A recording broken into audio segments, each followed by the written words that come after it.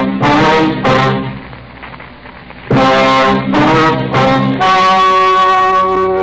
story you are about to hear is true.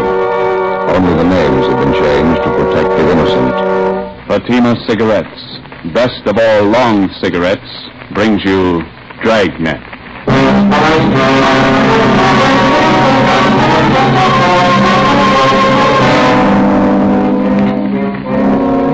A detective sergeant. You're assigned to homicide detail.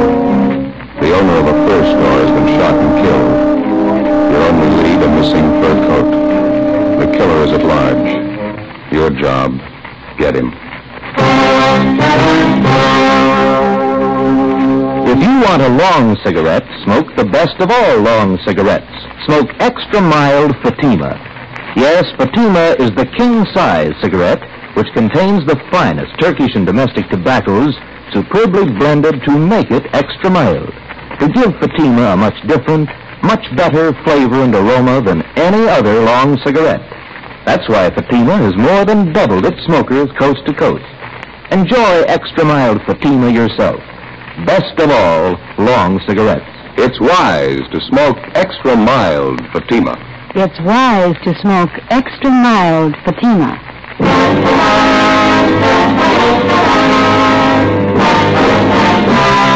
Dragnet, the documented drama of an actual crime.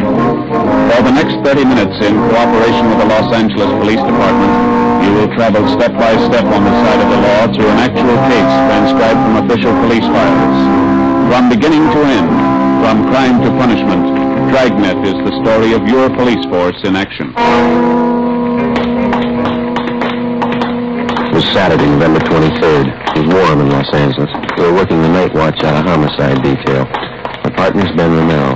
Boss is Blaine Steed, captain of homicide. My name's Friday. It was 6.35 p.m. and we got to the corner of Western and Lexington.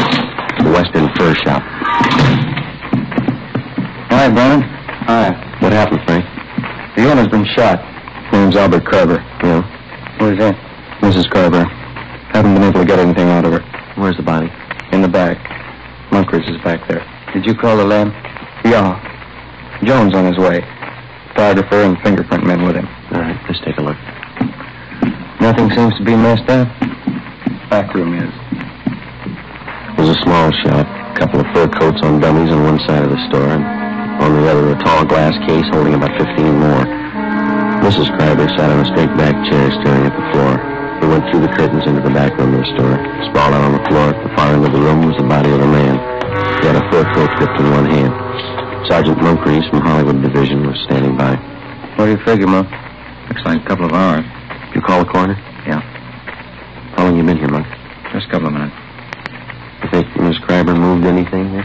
I don't think so. She was sitting in that chair when we got here. I don't think she's moved except to call in. Did she put in the call? Yeah. Empty shells are on the floor. got a pencil? Uh, yeah. Yeah.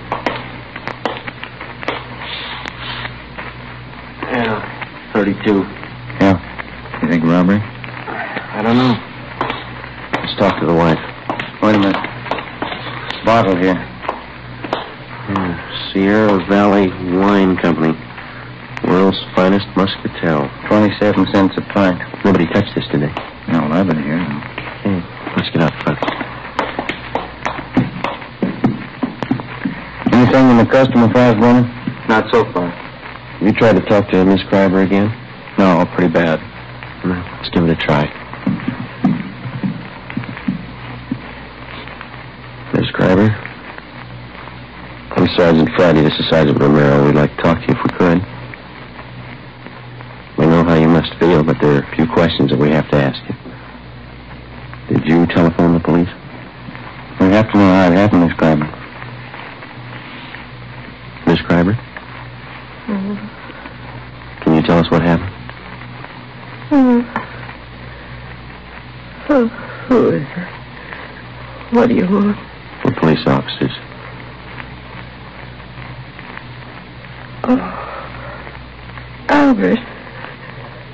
Albert's dead. Albert! Albert! Someone call the police. Miss Kreiber, we are the police. My husband's been murdered. He's dead.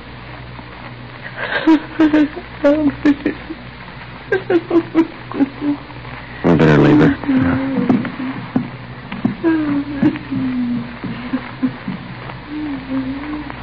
Buddy, hmm? here's something I found in the customer file. Mm-hmm. Miss Terry Shepard, 10113 Normandy, apartment 3. What about it? She took her coat out that was in storage. Took it out today. Well, we'll check her out when we're finished here. Thanks.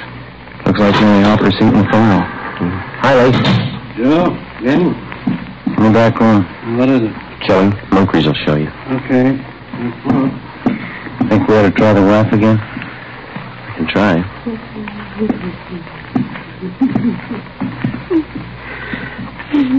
Miss Crabber, can we do anything for you? Oh, I'm a little better. I, I'll try to tell you what I can. All right. When did you get here? It must have been about six o'clock, a few minutes after. I came to take him home. Any customers around? No, the store was empty. I stood here for a few minutes waiting, and then I went in the back and. Yes, I... Front door open? no. Yes, the, the front door. Yes, ma'am, the front. Yes, open. Did you telephone the police? I, I think I did. Did you come here to pick him up? No. No, usually he drives home himself. I came down on the streetcar to ride home with him. What kind of a car do you have? An Oldsmobile. 1939 or 40, I guess it is. Uh, Where does he usually park? in the rear of the store. This little place back. I'll take a look. All right. Where is your home? 3412 Northwestern. I thought there was something wrong when I, I got a telegram from him. He said not to come down tonight. He said he'd be home late. What time is that? At four o'clock.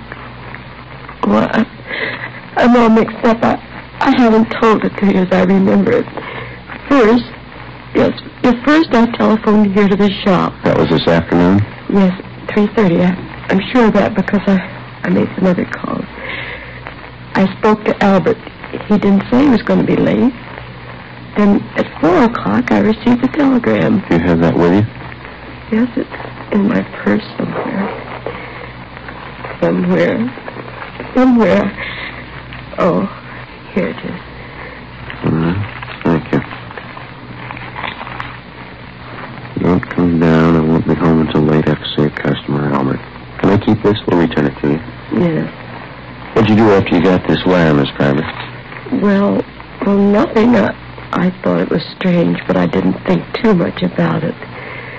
Then I, I started wondering why he didn't say anything over the telephone about being late. So, well, I came down here on the streetcar. Did you phone the store just before you left your house? Yes, but there was no answer. Parking lot's empty. Better get on the APB in the car, huh? Miss Crabber, you said your car was a 1939 or 40 Oldsmobile, didn't you? 1940. I remember now. What model is that? Oh, sedan, light blue. Do you remember the license number? Well, I have it on this chain with the extra keys. Uh, here it is, on this little tag. The veterans make these. Thank you. Yeah, can I see him now? Sure. Excuse me, Miss Crabber. Do, do you want me to wait? I, I'd like to go home. We'd like you to wait for a little while, yes. Do you have any relatives living here? A niece and a nephew in Beverly Hills. Jerome Reed. They live on Cannon Drive. All right, we're calling for you. Thank you. Lee, this phone out here all right to handle? Yeah, it's been dusted. Okay. Joe, you coming in? Yeah, right away. It's pretty clear, easy to trace. Mm-hmm. I'd say he was standing over here by the curtains when he was shot.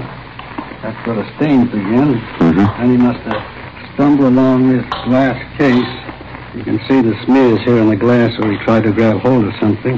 Yeah. And I guess he caught hold of that first coat and pulled it down with him. Mm-hmm. And he stumbled and bumped up against this coat rack, fell through that and up against the safe. How many times was he hit? Six empty casings on the floor. Looks like all through and through wounds. 32, huh? That's right. The wife know if anything's missing? Yeah, she's in pretty bad shape. It looks to me like somebody took his wristwatch and a ring from his left hand. If he had a billfold, that's gone. No coat. All the trouser pockets are turned inside out. And what about that wine bottle? It's smeared. Can't lift a thing. Okay, thanks. Ben? Still on the phone. Okay. No, no, no. License 15 Boston. 6707. No, 707. Yeah. Driver might be on. Hang on a minute, Wallace. What? Now give that DMV while you're saving another call. Uh, Miss Crabber, did your husband have a wallet? Yes, yes, brown alligator. Did he keep his identification in? it? Yes. Did he carry much cash? No, just a few dollars. He was always afraid of holdups. Thank you. You want to give that to him, Ben? Yeah, okay. Hey, Wallace. Suspect might have a brown alligator wallet with identification cards of Albert Kreiber. Yeah, that's C-R-I-B, Boston, B, Boston, New York. 3412 Northwestern Avenue. Yeah. Yeah, okay. Yeah, but. Joe? Hmm. Mark's over here. Yeah, Monk? Invoice from the Far North Fur Company. Three mink coats delivered here today. I looked all around. I only found two, one missing.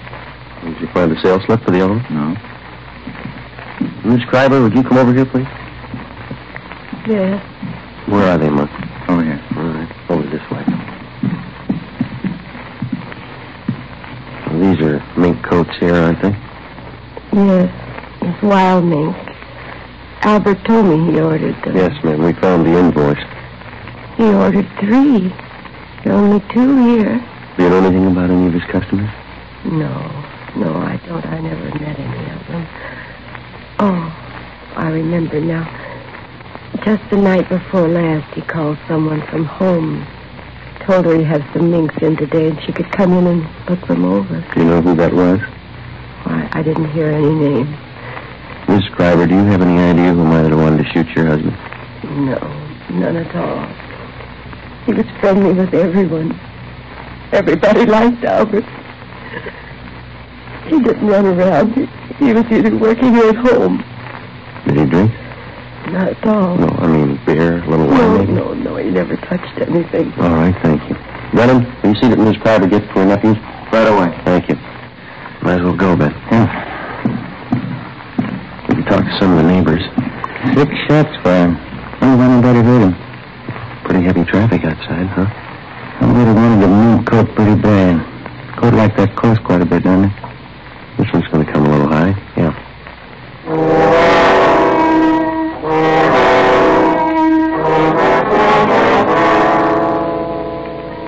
Seven oh five p.m. Most of the stores along the street were closed, but a small shoe repair shop across the street was open, so we went over there. On the window was one word, Pete, and a picture of a shoe. Sitting in the window was a small, dark man wearing a leather apron, who was working on a pair of shoes. Hello. We're police officers. I see you drive up across the street. Are you Pete? Sure. Uh, what happens to Mr. Kreiber? He's robbed? No, he was killed. No. Shot? I do not hear anything. Have you been sitting in your window all afternoon? Oh, most all the time. You see, I have machinery here. I advertise that way. People watch me. Mm-hmm. Do you remember seeing anybody going into Mr. Kreiber's this afternoon? Uh, this afternoon, man. Uh, two, three long black cars. Uh-huh. Anybody else? Uh, some. Were they women? Officer, they are all women. I see. Did any of them walk out with a new fur coat? Uh, they're all up. I do not see all of them, I guess, but I see two. Can you describe them? Uh, one beautiful young girl, tall, red hair. She walk out with big package. What time was that? Three, four o'clock. Uh, the second woman is about the same time. Funny thing. I do not see the bottle, but Benny from liquor store in corner tell me the second one, the blonde, she buys bottle wine. Did he tell you what kind? No. Reason I remember, I laugh when he tell me. I go over to Benny's for a can of beer. It, he tells me she buys cheap wine, walks out of Kreiber's with new fur coat.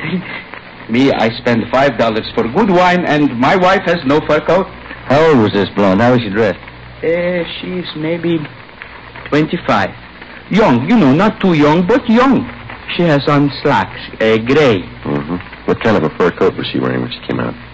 Mink. Look from here like mink. I see. Did you notice where she went? Mm.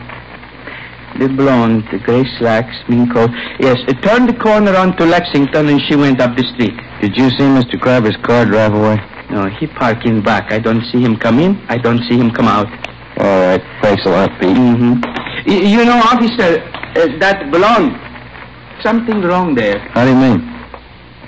Well, she has got fur coat, but she drinks wrong wine. I don't understand. Why do you say that? Five thousand dollar coat, twenty-seven cent wine. 7.45 p.m. Ben and I questioned Benny Davis at the safety liquor store. He remembered the blonde and said she bought a bottle of Sierra Valley Muscatel from him between 2.30 and 3 o'clock that afternoon. He'd never seen her before. We contacted communications and gave a description of the blonde to supplement the All Points bulletin. Then we started checking Western Union offices to find out where Mrs. Kreiber's telegram had been sent from. We finally traced it to the office at Normandy and Hollywood Boulevard. The operator who sent the telegram to Mrs. Kreiber also remembered receiving the call. She told us that the person who phoned in the message was a woman. The time, 3.22 p.m. We asked her to put a tracer on it and told her we'd check back. 8.24 p.m. Ben and I went to 10113 Normandy to talk to Miss Terry Shepard, whose name had appeared in the customer files at the fur store. The receipt showed she had taken a coat out of storage that afternoon. This is something like the place the wife and I used to live in. Yeah? Same people must have built it. Apartment three. Miss Terry Shepard. All right, come in. The door's open. Find yourself a seat, Fred. I'll be there in a minute. Police officers, Miss Shepard. Oh? What's wrong? We'd like to talk to you. What about? What if you could come out here, please? Well, I just got out of the show. You'll have to wait a minute. Yeah? Yeah, this place has got the same floor plan as mine. Huh? Kind of small, isn't it? Mm, not too bad.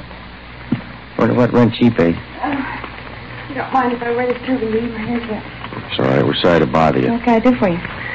You got a fur coat, Miss Shepard. Yeah, sure. Wonder if we could see it, please. Sure, but I don't think it'll throw you. It's only muskrat. I bought it in Pittsburgh. Where is it, McLeod? Yeah. Okay. It's uh, down the hallway, first door on the right. I think I know where it is. What's this all about, Lieutenant? What time were you at the Western Fur Shop today? Oh, I'd say 3 o'clock. Why? What'd you do while you were down there? I got my coat out of Hawk. I had it there during the warm weather. Paid the man, signed something, and uh, he put the coat in the box, and I took it. Mm-hmm. Do you know Mr. Kreiber down there, the man that owns the store? You got me. The man was about 50. His hair was a little gray. I hardly even looked at him. This is the only fur coat, Bill. Could have passed for mink when I first bought it. Pretty sad now, isn't it? Not me. I'll give that to Rosa the last check. All right. What happened? Did somebody steal a coat? Was anybody else in the store while you were there? Y- yeah. Yeah, there's another girl there. What was she doing? Nothing, just sitting. Do you remember how she was dressed? Oh, she was wearing a gray suit, slacks, blonde. Her face wasn't much, but she had a neat little figure. Do you remember anything else about her? I didn't pay that much attention. Anything else in there, Ben? Not a thing, Joe. Maybe I'd better take this towel off my head. It doesn't look so hot when it's wet, but it's natural. Natural red. Yeah. Is there anything else that you might be able to tell us? Mm, I think that's about all. I gave the man my claim check and the money. And he got the coat and put it in a box and gave me a receipt. Mm-hmm. Nothing else. No. And when I got the receipt, I saw the blonde walk over and pick up the telephone. I was just leaving then. Did you hear any of the conversation? She asked for Western Union.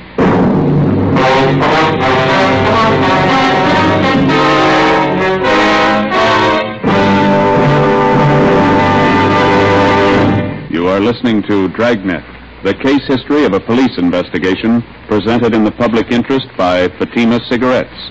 If you smoke a long cigarette, it will be in your interest to listen to a typical case history of a Fatima smoker. It's the case of Edith Gwynn, well-known Los Angeles columnist. This is her actual signed statement. It's my job to keep up with what's going on around town. And here's one thing I've noticed lately. More and more people smoking Fatima. You certainly can tell why once you smoke them. I found them milder than any other king-size cigarette, and that's important to me. Yes, I agree. It's wise to smoke extra mild Fatima. And so do more and more smokers every day. Actual figures show extra mild Fatima has more than doubled its smokers coast to coast. So enjoy extra mild Fatima yourself. The king size cigarette, which contains the finest Turkish and domestic tobaccos, superbly blended to make it extra mild. You will prefer Fatima's much different, much better flavor. You will agree. It's wise to smoke extra mild Fatima. It's wise to smoke extra mild Fatima. The best of all long cigarettes.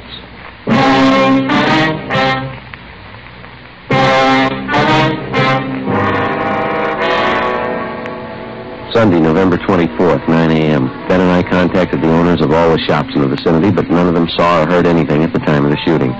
Officers Brennan and Moncrief interviewed all the regular customers of Albert Kreiber's fur shop. Only three had been in the store on Saturday, but none of them had noticed anything wrong. 11.35 a.m. We spoke to Mrs. Kreiber again, but she could add nothing to her story. Her niece and nephew had been to a football game at the Coliseum in the afternoon and knew nothing had happened until they were telephoned by Officer Brennan. 2.55 p.m. We spoke to all the tenants of the apartment house at 5513 Lexington, which is in the rear of the fur shop. None of them had been home, but the owner told us that he had some men working on the roof of the apartment house at the time of the murder. Through the owner of the Durable Roof Company, we traced the two men who had been working on the roof, and they told us that about 4 o'clock they had seen a blonde dressed in gray slacks enter the parking space in the rear of Kreiber's fur store. They whistled at her, but she paid no attention to them. She got into an Oldsmobile and drove east on Lexington. 7 p.m. We checked in at the office and got word that Albert Kreiber's car had been located in the parking lot at Vermont and 8th. We drove down to the location and talked to the parking lot attendant. Well, the car must have come in sometime last night. It probably came in the back way because I don't remember it coming in, and it doesn't have our lot tag on it. Did you work all last night? No, I finished at midnight and started at 10 this morning. I kept waiting for somebody to claim this thing, and, well, and after supper, I figured it might be stolen, so I phoned the police. It's been sitting here all that time. Are there any keys in it? No, sir, there weren't last night either. Have you ever seen this particular car before? No, sir. Have you ever seen a blonde woman about 25 wearing gray slacks? You mean hanging around here? Yeah, or in the neighborhood. Mm, Yeah, but not today or yesterday. You remember one? Well, yes, sir. Does she drink a lot? Maybe. Well, there's one that hangs out in these bars around here.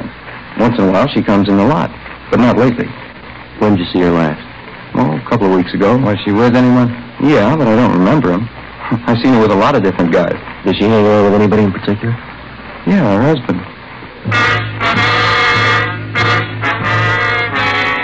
Before leaving the parking lot, we pulled the rotor out of the distributor so that nobody could drive the car away. 8.12 p.m. We called homicide and asked for more men to canvass the bars in the neighborhood. Ben and I staked out on the car. We sat in our car across the street from the parking lot until midnight. Nobody showed up to claim the car. The streets were almost empty. Our only chance was that the blonde lived in the neighborhood or was in a bar and would sooner or later try to claim the car. 1.53 a.m. Hmm. What rent do you suppose that Shepherd girl paid? You got me. 75? I don't know. I bet I pay more than she does. Is that Moncrief? Yeah. Hi, Monk. Hi. Take a look up the street. See that couple? Where? Coming this way. Blonde, gray slacks, fur coat. Just pretty drunk. Where'd you spot her? Turned the corner from Olympic. They've been looking in parking lots. Monk, there's a rear entrance to this lot off the alley. Do you want to cover that? Yeah. Thank you. You see him all right? That's it. When they walk under that light. Yeah. Pretty drunk. Looks like the same kind of coat, isn't it? Yeah. Mm-hmm. Stopping. Looking for another parking lot, I guess. Sierra Valley wine. World's finest muscatel. They're going into the parking lot. She's not carrying a purse. Those crooks don't have pockets big enough for a 32 automatic. That stuff sure gets people. All right, let's go. We're getting in Kreiber's car. Look, you can't even find the door. She's helping us. You take the other side of the car, will you? Yeah. Stop pushing me.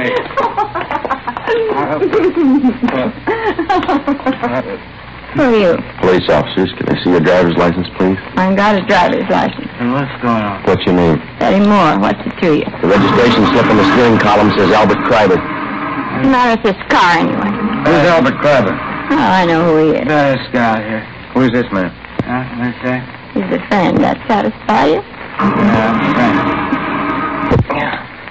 Lots. What do you want in there for? Let me have those keys. Hey, Here you are, Ben. How about going there's home? nothing in there. Let's go. Here's a purse.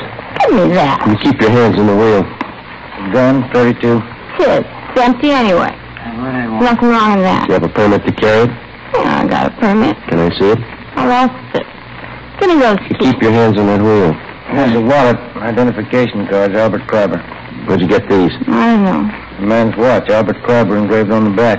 Who's Albert I Kreiber? don't know, I told you. All right, let's get out of the car. All right, let's push it. Why didn't car start? All right, come on. Stand up. You get over there. Where'd you get the fur coat? I bought Over it. here. Where? I don't know. Yeah. What looks like? Wednesday. Let's see one on them. What kind of wine? Muscatel. Muscatel isn't a red one, it's a white one. Who's Albert Kreiber? I don't know. This is his wallet, this is his car. Where'd you get him? I don't know. I don't know. This the gun you shot him with? This the gun you shot him with?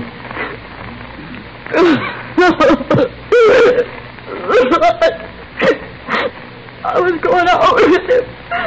He said he'd give me a fur coat. He promised me a watch, and he never gave me one.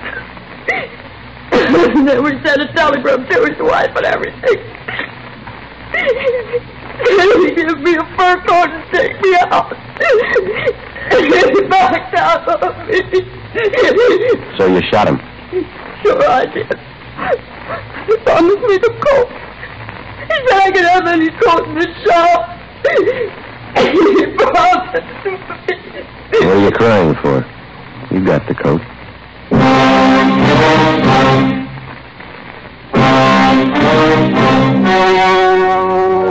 The story you have just heard was true.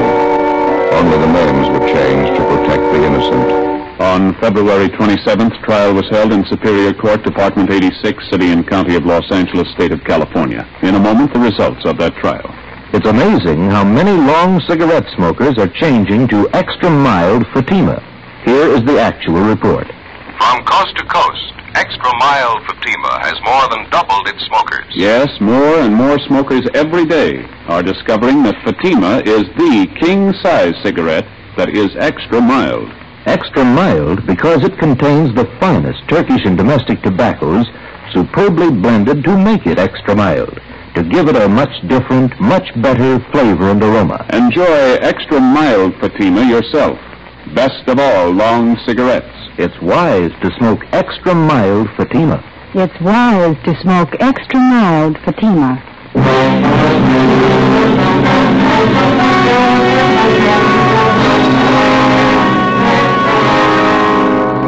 Betty Moore was tried and convicted of second-degree murder and received sentence as prescribed by law. She is now serving her term in the state penitentiary at Tehachapi.